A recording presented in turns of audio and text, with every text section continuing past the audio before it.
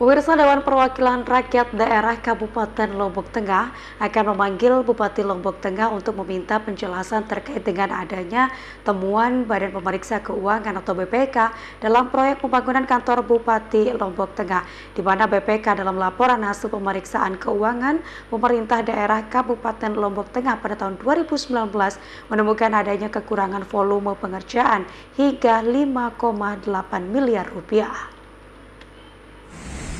Dewan Perwakilan Rakyat Daerah Kabupaten Lombok Tengah akan bicara terkait adanya temuan Badan Pemeriksa Keuangan BPK dalam laporan hasil pemeriksaan LHP terhadap laporan keuangan pemerintah daerah Kabupaten Lombok Tengah tahun 2019 di mana dalamnya menyangkut pembangunan kantor bupati ditemukan kekurangan volume pengerjaan mencapai 5,8 miliar.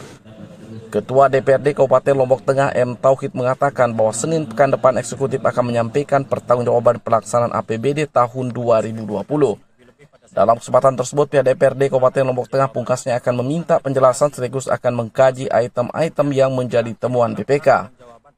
Pihak legislatif juga lanjut politisi Partai Gerindra ini akan mendalami temuan tersebut sebagai fungsi pengawasan DPRD Kabupaten Lombok Tengah. Hari Senin ada penyampaian dari pemerintah daerah berkaitan dengan pertanggungjawaban pelaksanaan APBD tahun 2020.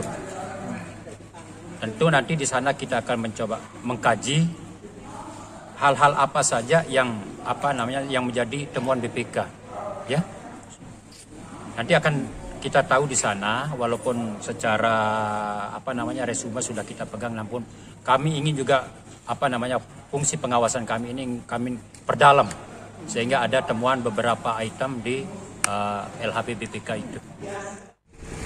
Lebih jauh, anggota DPRD Kabupaten Lombok Tengah Dapil Kopang Jana Pria ini menambahkan ke depan pihak Dewan akan lebih meningkatkan fungsi pengawasan sehingga pelaksanaan APBD tidak menjadi ladang temuan BPK.